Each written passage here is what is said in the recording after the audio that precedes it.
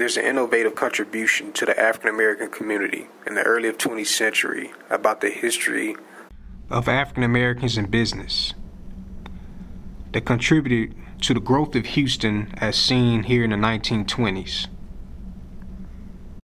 At the height of business development for African Americans, women were the first to take charge. Nobia Franklin, the owner of A. Franklin Beauty School, was the first successful black business owner in the cosmetology and the beauty supply field.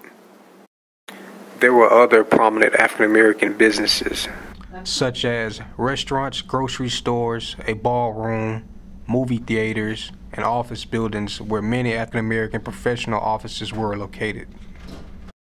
Hobart Taylor was a successful businessman during the 20th century, as well as the first black millionaire in the state of Texas. He also founded Houston's Negro Chamber of Commerce in the 1930s.